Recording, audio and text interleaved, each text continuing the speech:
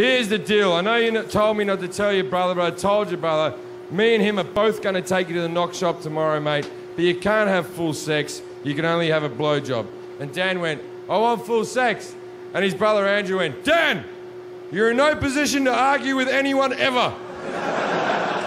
then Dan reluctantly agreed. Now, prostitution in Australia is legal. So I spent the rest of the afternoon going through the phone book trying to find a brothel with wheelchair access. Best afternoon ever! Four, three, two, one. You'll never have the sacred stone. Oh, this you crazy mother.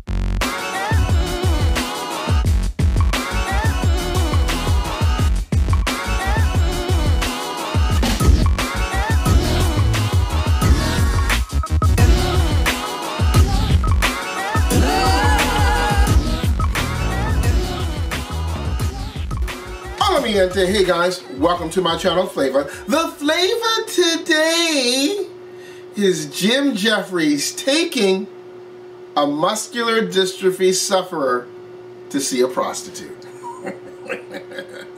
Don't forget to like, comment, subscribe, and hit the notification bell for any future videos. So, without any further ado, let's take a look at Jim Jefferies taking a muscular dystrophy sufferer to see a prostitute.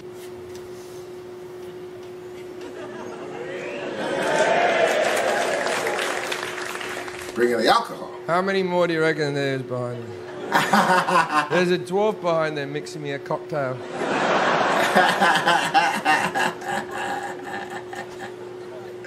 Drinks, I am drinks. fucking drunk now.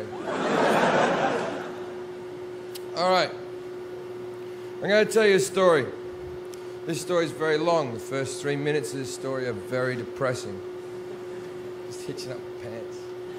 It's the First three minutes of this story are very depressing, but there is a moment where this story takes flight. And you have to hang in there with me until this moment and trust me that the story is going to get good. Good. I grew up at number three Turramurra Street. At number five was my two best childhood friends, Andrew and Daniel Connor. Daniel was born with a disease called muscular dystrophy.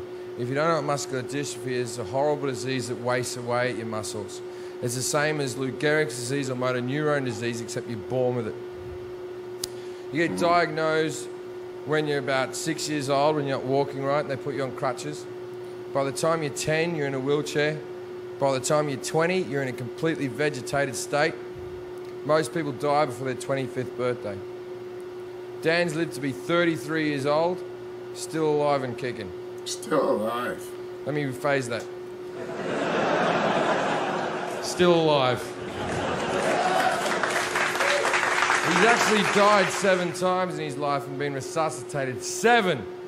And I once asked him, I said, Dan, what happens after you die? And he said, nothing. so good luck with your religion and your faith. Uh, Fight. I'll take an actual statistic. Statistic, eh? Statistic. Now, his over. family had since moved to Melbourne. I had moved to Great Britain. I went to do the Melbourne Comedy Festival. This is about a year ago. Uh, I hadn't seen him in all that time. His brother Andrew came to see my show, and then Andrew took me to see Dan. And I went in to see him, and I'd never seen anyone live this long with this disease. And he's laying on a bed. His eyelids are a muscle that he can't keep open anymore, and they're just he's just squinting through these little things. And Has a breathing mask on him to keep his lungs working because the lungs are a muscle that he can't keep pumping. He has a, a, a heart monitoring machine in case he flatlines in the middle of the night and someone has to resuscitate him. Wow. And as soon as I walked in and saw this guy that I used to run around with as a child, I burst into tears. There's nothing worse you can give anyone in this world than pity, you know? I went in the corridor, I felt like a right prick, and I was fucking wiping my eyes off. And I went back in, and I sat with Dan. His brother Andrew went off to work, and me and Dan chatted for a while. 20 minutes into the conversation, Dan says to me, Jim, I'm 32 years old. I've never been with a woman. Will you take me to a prostitute? And that's where the story picks up, ladies and gentlemen. And that's where the story picks Because I up. went, fuck yeah! And he but don't tell my brother, he wouldn't understand. I said, that's where you're wrong. I've known your brother my entire life. Trust me, he will understand. And against Dan's will, when Andrew came home from work, I pulled Andrew aside and said, Andrew, look, here's the deal. Dan's asked me to take him to a prostitute. I'm going to do it whether you like it or not, but I think as his brother, you should come along and help out. And Andrew went, We're not doing it. And I went, Why? And he went, It'll kill him. And I went, I got nothing. I got nothing. I got nothing. He's gonna die soon anyway. This is a good Oh, way God. for him to go. Like, sure, we'll have to answer a few questions.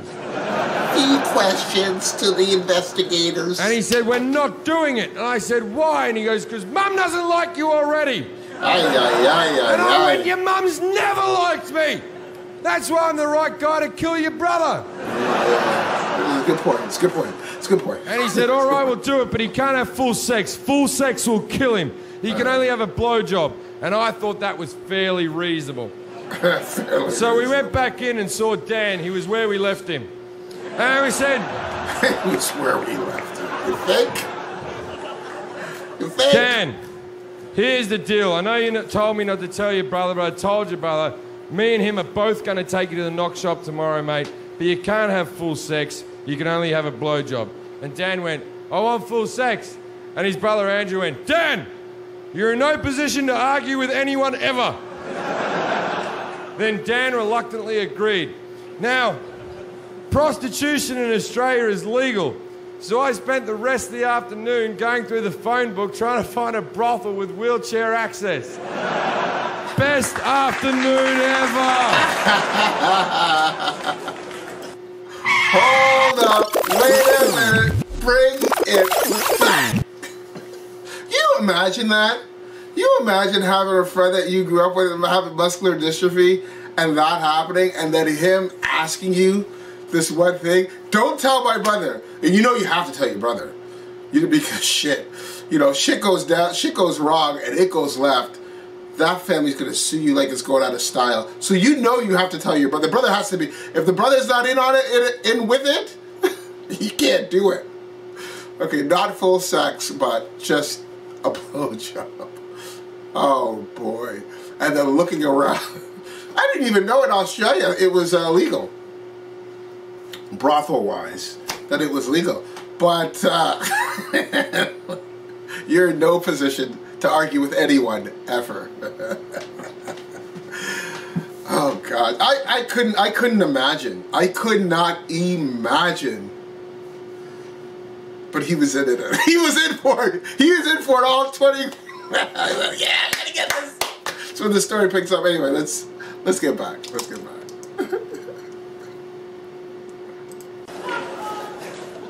Eventually, I found one, of the biggest brothel in the southern hemisphere, the Daily Planet, or as the Australians call it, Four Floors of Whores. it's a 24 hour brothel because Australia's a go ahead country. So we decided we were going to go early in the morning, like real early, like 6 a.m. We wanted to go when the place was quiet and we weren't going to cause a scene. So we wake him up at 6 o'clock in the morning. It's hard to tell if he's awake. And we get him in his chair. Now, he hasn't got your bog standard fucking wheelchair. He's got one of those big, sort of silver looking things with the truck tires on it. I think the model's called a Hawking. And even though his muscles don't work, they get sore. So this thing can move him from side to side and back to front and even into a full bed. So we get him in the chair, then we order a taxi. And then it's not like you have black cabs out there. It's like a normal car, but they've, they've modified the back to go higher. And they drive him up through the boot and they strap him in there right. and he sits up high with windows all around him like a big retarded pope. Or as the Catholics would say, the Pope. and we drive off to the brothel. Now, when we get to the brothel, it takes 10 minutes to get him off the taxi. I see this as my Wow. window of opportunity. So while they're getting him off the taxi, I run into the brothel. Now, there's two ways that brothels work. Either the prostitutes will stand in a row in their lingerie and you just pick the one that you want. Or They'll stand around in a bar in evening gowns and high heels, and you walk up to the one that you like the look of, chat to her for a bit, act like you've got some type of connection with an Eastern European woman, then take her upstairs and fuck her if you need your life to be this delusional. So on that note, that is part one. I hope you enjoyed it. We'll come back to do part two and resume where this story left off. Uh, don't forget to like, comment, subscribe, and hit the notification bell for any future videos. What he's going to tell these prostitutes and warm them up, or what they're about to get, and what they're about to expect. Hey, yeah, yeah, yeah, yeah, yeah, yeah. Don't forget to like, comment, subscribe, and hit the notification bell for any future videos. Until next time. I can't wait. Deuces.